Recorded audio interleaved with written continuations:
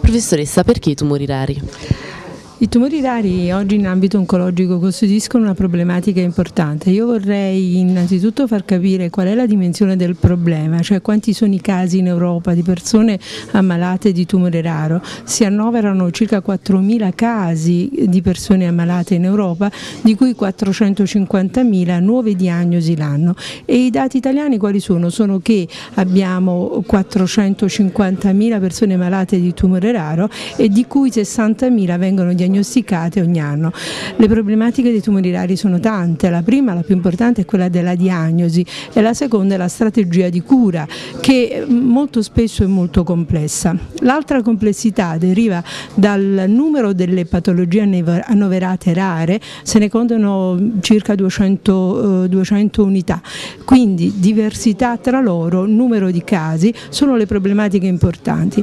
Eh, la, noi abbiamo costruito nell'ambito dell'azienda U Federico Ecco, secondo questa progettualità del centro riferimenti tumori rari, ovviamente prendendo a modello soltanto quattro modelli di tumore raro, considerato le problematiche e il numero di questi quelli di cui siamo verosimilmente più appealing, più ricercati per la patologia, come i tumori del timo, i tumori del testicolo, i tumori stromali gastrointestinali e i tumori neuroendocrini.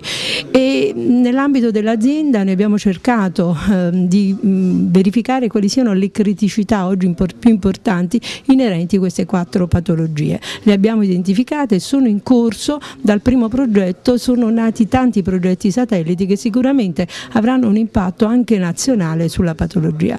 L'altro dato, mm, eh, per questo abbiamo organizzato quest'anno questa prima conferenza sui tumori rari che vuole essere un po' un highlights, cioè cosa c'è di innovazione in, queste, in questa patologia considerata rara e ehm, secondo punto eh, dare almeno creare nell'ambito della regione Campania ehm, l'aggregazione di specialisti che sono interessati alla, alla patologia nonché quella interazione funzionale tra specialisti che ci consente di tracciare una strada dal, dalla diagnosi al management di queste patologie.